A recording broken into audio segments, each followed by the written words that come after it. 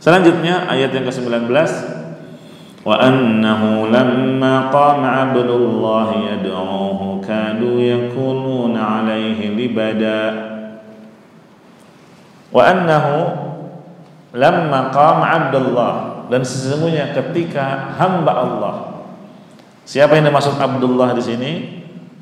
Nabi Muhammad sallallahu alaihi wasallam. Qama Abdullah. Ya ketika Nabi Muhammad berdiri melaksanakan salat maksudnya. Kadu yakununa alaihi libada. Maka jin-jin itu berdesak-desakan mengerumuni Nabi. Untuk apa? menyimak bacaan Al-Qur'annya. Karena nggak kayak kita ada speaker, ada pengeras suara sehingga asal berada di dalam masjid saja udah terdengar suaranya kan nah adapun dulu bagian belakang ya tentu nggak begitu jelas menyimak bacaan Al-Quran nah mereka jin-jin ini berdesak-desakan ya untuk menyimak bacaan Al-Qur'annya Nabi sallallahu alaihi wasallam. Jadi ayat ini sebagaimana kita sudah sebutkan bahwa hiburan Allah kepada nabinya ketika tidak ada yang mau mendengar dakwah beliau ternyata ada dari kalangan jin yang kalau Nabi berdiri mengerjakan salat itu sampai desek-desekan untuk mendengar Al-Quran. Gitu ya. Kemudian ayat ini Allah sebut Nabi Muhammad dengan Abdullah. Wa annahu lamma qama Abdullah. Iya padahal yang dimaksud Abdullah siapa ya Nabi Muhammad sallallahu alaihi wasallam kenapa nggak disebut namanya wa annahu lamma qama Muhammadun yad'u Kenapa nggak disebut namanya langsung Muhammad? Tapi kalau disebut Abdullah karena Allah ingin memuji. Allah ingin memuji Nabi Muhammad SAW. Iya, di antara sifat mulia yang ada pada Nabi Muhammad adalah al-ubudiyah. Dia adalah seorang yang telah melakukan penghambaan kepada Allah dengan sempurna. Iya. Kan Nabi memiliki dua sifat mulia. Yang pertama abduhu dan yang kedua rasuluhu. Nah, ini dua sifat yang mulia. Rasuluhu itu artinya utusan Allah. Allah memilihnya. Jadi utusan Allah itu ada dari kalangan manusia dan ada dari kalangan malaikat. Enggak ada dari kalangan jin.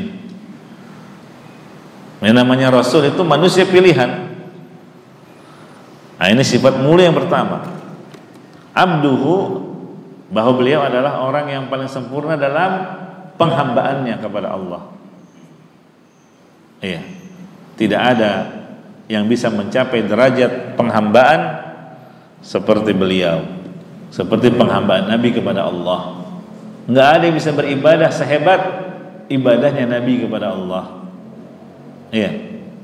Jadi Nabi adalah orang yang paling taat kepada Allah sehingga tidak ada yang bisa menyamai salatnya tidak ada yang bisa menyamai puasanya Nabi ya tidak ada yang bisa menyamai khasyahnya rasa takutnya kepada Allah seperti khasyahnya Nabi begitu. Seterusnya. Oleh karena itu Nabi dipuji dari dua sisi yaitu sisi penghambaan dan sisi kerasulan.